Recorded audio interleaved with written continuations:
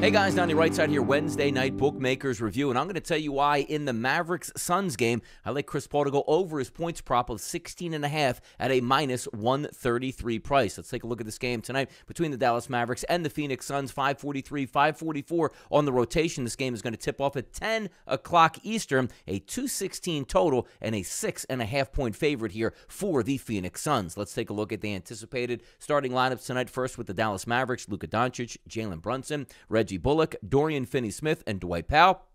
Take a look at the Phoenix Suns. Chris Paul, Devin Booker, Mikal Bridges, Jae Crowder, and DeAndre Ayton. Once again, we're going to focus on Chris Paul. If we take a look at Chris Paul in the playoffs, just scoring, starting with the first game against the Pelicans, 30 points. Second game, 17. Next game, 28. Now, the anomaly game, eight field goal attempts from the field, four total points. Then he gets right back on the horse, 22 points and 33 points to close out the Pelicans on the road. Game one here in Phoenix, 19 points. So, what gives here for us? Let's go ahead and make it official. 16 and a half points for Chris Paul tonight should be an automatic bet for us. And in the previous, excuse me, previous three games, 18 shot attempts, 14 shot attempts, and 13 shot attempts. He is ultra effective here. And if we can get 10 plus field goal attempts, we're going to cash in the 16 and a half. No doubt in my mind. Guys, if you're shopping around out there, you can't get any Chris Paul props. Make sure you check out BMR to get your best a plus sports book that you can find so you can cash in tickets like I'm going to do today